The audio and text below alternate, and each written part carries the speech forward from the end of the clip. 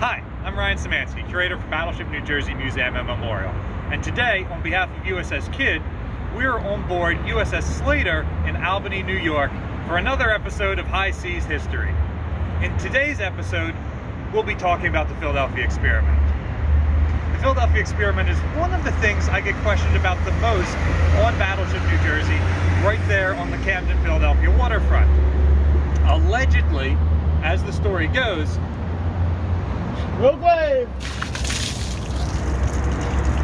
a destroyer escort in the Philadelphia Navy Yard was being uh, tested on to become invisible or possibly to teleport. The story's often told in different ways. Seas! That one's colder. the destroyer is usually listed as USS Eldridge. Uh, she is a Cannon-class destroyer escort, just like USS Slater right here behind me.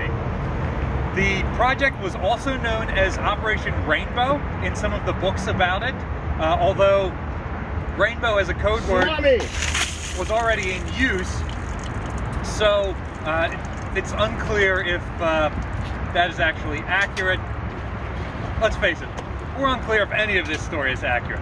The way the story goes is uh, Eldridge was trying to be made invisible using some sort of new electro uh, electro uh, Typhoon!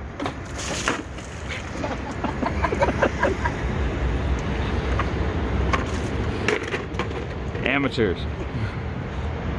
uh, Eldridge was going to be made invisible using some sort of electromagnetic field.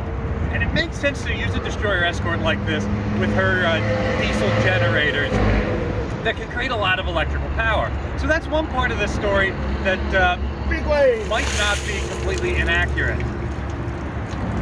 As the story goes, Eldridge is teleported to Norfolk, and then when she teleports back, not all of the crew come with her. Some of them are having uh, mental breakdowns, some of them phase in and out of weather. existence. And uh, Incoming! some of them are fused into the ship's bulkheads. When Slater was selected to become a museum ship, unlike most museum ships, she wasn't chosen from uh, ships that the Navy put on donation hold. The Destroyer Escort Sailors Association went over to the Greek Navy, which was operating four of these ships since the 1950s and all the way up into the 1990s. And they had two choices to pick from, USS Eldridge and the USS Slater. And for whatever reason, uh, they chose Slater, probably because Eldridge still had sailors fused into the bulkhead. And nobody wants to see that on a tour. There is no research that suggests that uh, Eldridge was ever in Philadelphia during the time of the purported experiment. It seems to be one guy's crazy story. What we think happens is they were actually testing degaussing equipment, which puts an electric charge into the hull to make the ship invisible to magnetic mines and torpedoes.